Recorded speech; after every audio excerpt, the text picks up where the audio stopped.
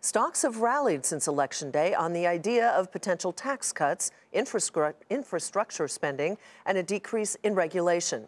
But how long will investors have to wait to see these policies put in place? Mike Santoli takes a look. Wall Street is eager for a package of business friendly tax cuts promised by the incoming Trump administration.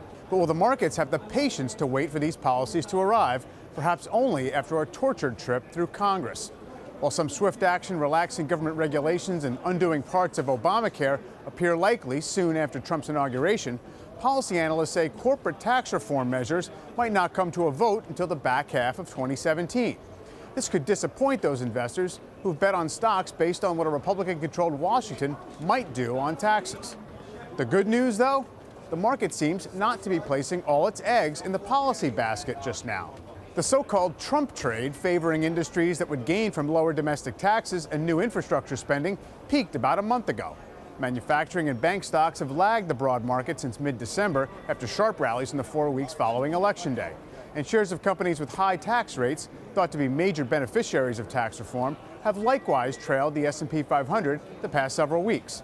This suggests the index's recent levitation to record highs has been more about an expected rebound in corporate profits and a pickup in economic indicators globally. Earnings are projected to grow by some 12% in 2017, with the strongest results in the second half. While such estimates tend to be whittled down a bit as the year goes on, it's probably a plus that most analysts have not boosted their forecast yet by adding any benefits of possible tax changes.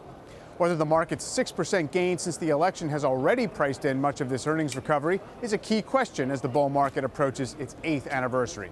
A stock market that trades on corporate fundamentals is perhaps healthier than one dependent on policy help from Washington that might or might not arrive in the desired form but it does raise the stakes for the earnings season that's about to get underway in the coming days.